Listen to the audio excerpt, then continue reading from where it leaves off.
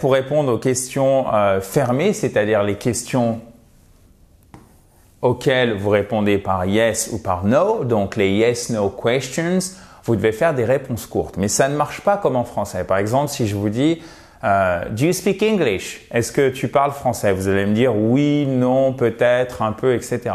En anglais, si vous répondez seulement oui ou non, c'est pas très poli. Donc, vous faites des réponses courtes, mais en reprenant une partie de la question. Yes, I do. Do you speak English? Yes, I do.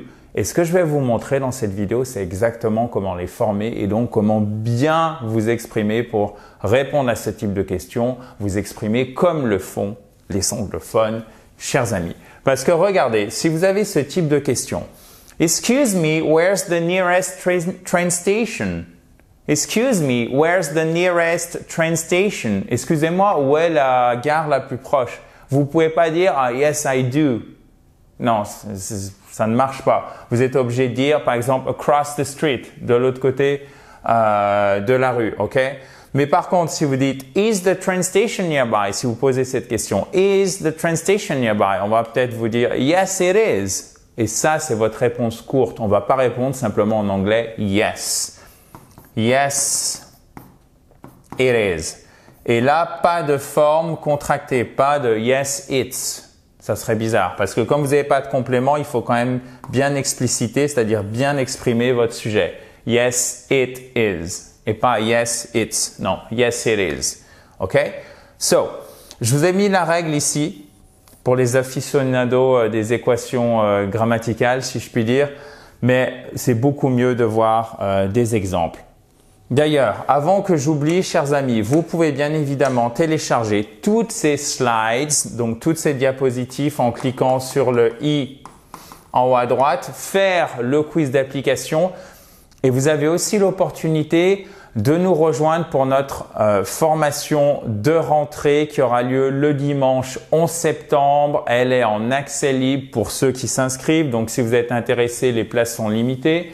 Vous cliquez sur le i en haut à droite. Ça sera ce dimanche 11 septembre à 20h heure de Paris. Si vous ne voyez pas le i en haut à droite, pas de panique.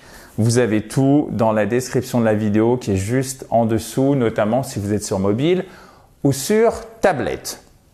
Donc regardez. Do you work here?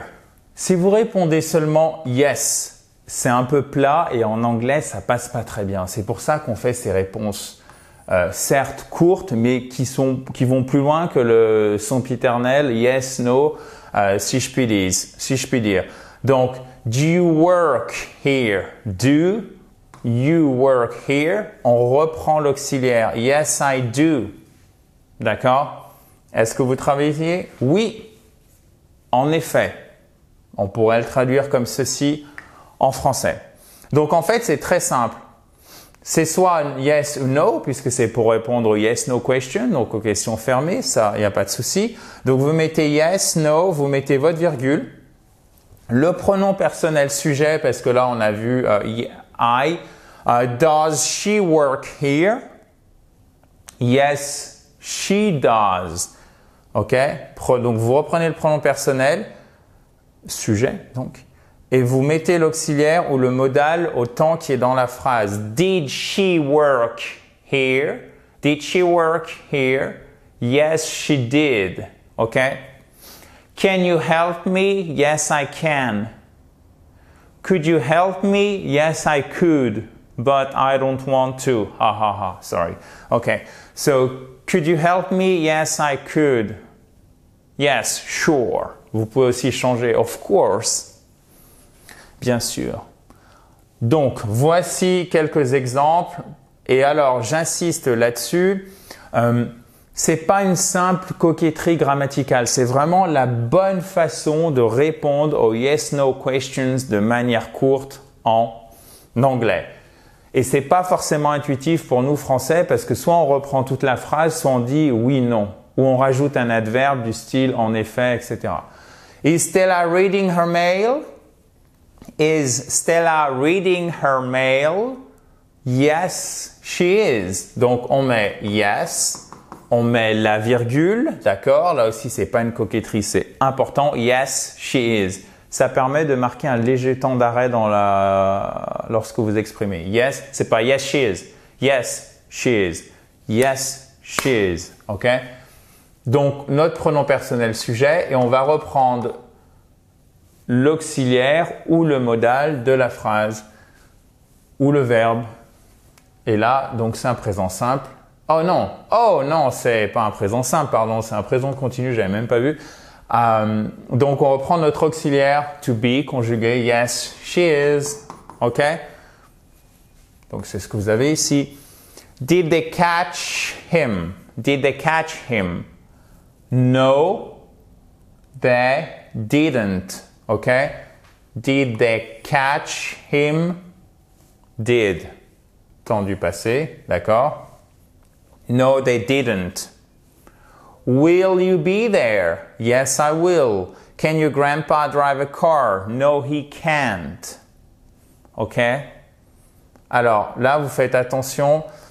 Euh, vous pouvez mettre une forme contractée pour did, pour do, euh, pour euh, les modaux, d'accord? Can, could, etc. Mais pour le verbe être, par exemple, vous pouvez pas dire yes, it's. Non, vous dites yes, it is. Vous pouvez pas dire yes, his. Yes, his. En réponse courte. OK? Et la dernière, have you been to Iran? Have you been to Iran? Have you been to Iran? Donc là, notre auxiliaire, c'est have. No, I haven't. Yes, I have. Okay? Yes, I have. Et c'était, si c'était par exemple eux, have they been to Iran? Have they been to Iran? No, they haven't. Okay? No, they haven't. Yes, they have. Et vous n'avez pas besoin de dire yes, I, I have been to, rajouter le been to Iran. C'est tout l'avantage de ces réponses courtes et c'est ce qui vous montre à quel point l'anglais peut être synthétique. Mais un yes-no, c'est trop, euh, c'est vraiment abrupt. Donc essayez de faire euh, ces belles, si je puis dire, réponses courtes. Chers amis, j'espère que ça vous a plu. Si c'est le cas, euh, n'hésitez surtout pas à euh, laissez euh, un pouce bleu en bas à droite. Vous pouvez bien évidemment aussi vous exprimer dans la zone commentaire, poser vos questions éventuellement. Et si vous ne l'avez pas fait, vous pouvez aussi nous rejoindre. Attention, les places sont limitées, donc inscrivez-vous en cliquant soit sur le i en haut à droite, soit sur le lien qui est juste en dessous dans la description de la vidéo. Vous pouvez nous rejoindre donc pour notre formation de rentrée, le plan précis pour parler anglais dans les semaines qui viennent, qui aura lieu ce dimanche 11 septembre. À très vite dans la joie et la bonne humeur. Bye bye